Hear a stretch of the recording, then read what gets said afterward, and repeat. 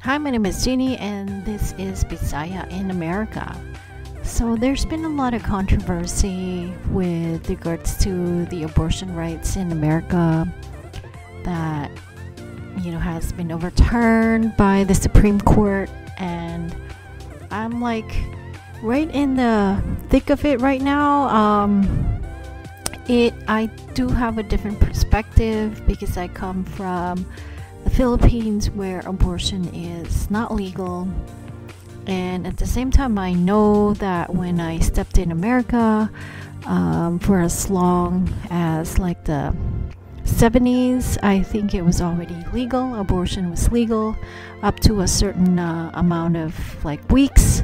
So that's the thing. Um, it's pretty complicated situation. I do get both sides. So the thing is, I grew up Catholic in the Philippines, and we did value, or we still will still, we were taught to value life, and so abortion was a no-no. Not that people, and it's illegal in the Philippines, but not that people are not doing it. They they still are.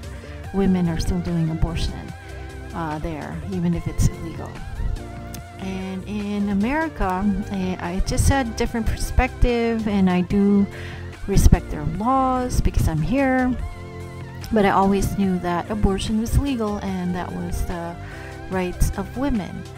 And but now that I'm a Buddhist, and I also have a different perspective as well, which is you know, um, as Buddhists, we respect life, all forms of life, and you know, we believe that life is precious, and it is also.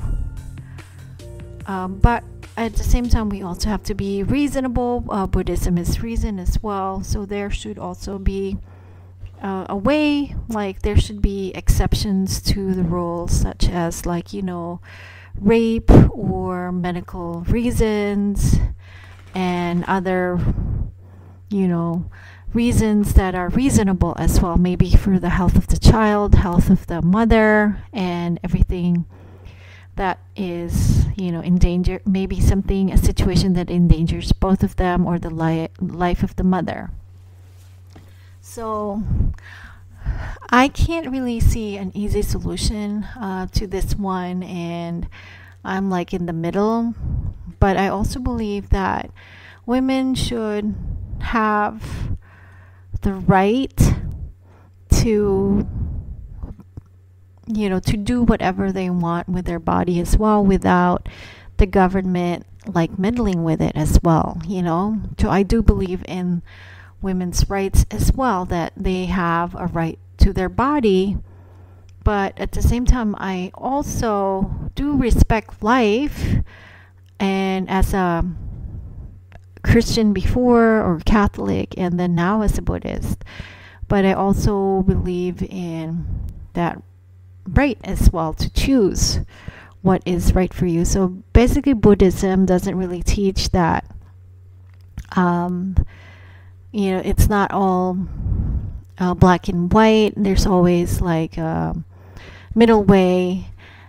And that's the thing, like, we have to figure out as a society uh, why women are getting abortions as well. Like, it is, there really is a disparity um, when it comes to, you know, women's health and um, especially like when you have a child and there's no one else to support you, that can be um, not just mentally devastating to a woman, that could also be financially devastating to a woman, you know, especially if you're a single mother and, you know, you can't afford to have that child as well. So, there's really no easy solution to this one. And um, as for me personally, I really find it kind of sad uh, because there's women that really do abortion not because of financial reasons and or you know medical reasons. They just don't want to have that child. And uh, anytime that a society uh, thinks that way, that life essentially is disposable, that, you know, th- that life is not sacred or precious, that, that there comes the problem, there lies the problem. But at the same time, as a woman as well, I don't think I would appreciate it if the government would tell me, like, hey, you know, we have the right to your your body as well. Like we're going to dictate what we want to do with it. And that to me is also a no-no.